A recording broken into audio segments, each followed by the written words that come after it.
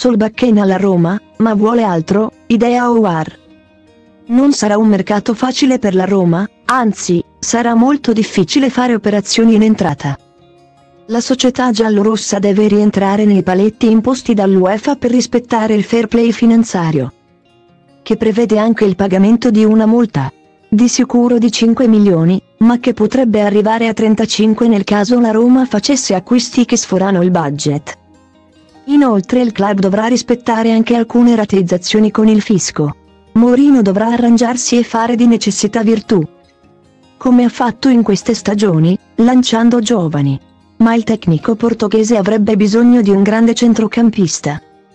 In attesa di Winaldum, il cui rientro non è previsto a breve termine, per far ripartire la Roma. Tiago Pinto non può muoversi senza prima cedere, insomma non è una situazione facile. Certezza l'unico rinforzo sicuro è quello di Ola Solbakken, che il dirigente portoghese si è assicurato da mesi e che nei prossimi giorni sarà nella capitale per sottoporsi alle visite mediche. Arriverà a parametro zero e quindi non grava sulle casse della società. Tiago Pinto ci ha lavorato da mesi. Poi Mourinho ha dato il suo avvallo. Il norvegese non andrà con la squadra in Giappone perché il Bodo, nonostante il campionato nel suo paese sia fermo, non lo libera in anticipo. Chissà se Solbakken, che nella passata stagione è stato la bestia nera della Roma in Conference League, risolverà i problemi dell'attacco della squadra giallorossa, ma per le sue caratteristiche è un giocatore duttile. È una punta esterna, che gioca a destra, ma può giocare anche a sinistra. Di sicuro non è un centravanti. Nella Roma può fare il trequartista con Zagliolo nel 3, 4, 2, 1, oppure anche il centrocampista esterno a tutta fascia. In questo modo risolvendo i problemi sorti dopo la rottura con Karsdorp, la Roma non può privarsi a cuor leggero dell'olandese. Considerate le difficoltà ad operare sul mercato e a trovare un sostituto. In ogni caso anche senza considerare Karsdorp, Mourinho Celic e Zalewski a destra e Spinazzola e Vigna a sinistra Ouar il ruolo dove c'è più urgenza di intervenire è quello del centrocampista.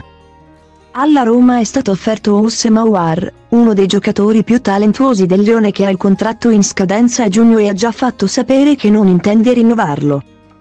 Ogni tentativo del club è stato vano. Rappresenta quindi un'occasione e molti club sono interessati.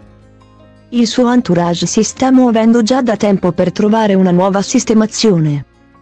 E fra le tante possibili destinazioni del franco algerino ci potrebbe essere anche la Serie A. Nelle ultime ore si sta muovendo il Milan, che sembra essere passato in vantaggio. Per prendere il giocatore a gennaio, pagando un indennizzo, oppure aspettare giugno per averlo gratis. La Roma si era mossa prima per il fantasista lionese che può aggiungere qualità tra il centrocampo e la tre quarti. Il club giallorosso già la scorsa estate aveva trattato sia con la gente che con il Lione e tornerà alla carica per cercare di colmare una lacuna. Ma non ci sono solo le italiane su Awar, c'è la concorrenza di un paio di club della Premier. Che possono offrire ingaggi più alti Frattesi il sogno della Roma resta però Davide Frattesi il centrocampista cresciuto nel vivaio che è stato vicino al ritorno già la scorsa estate.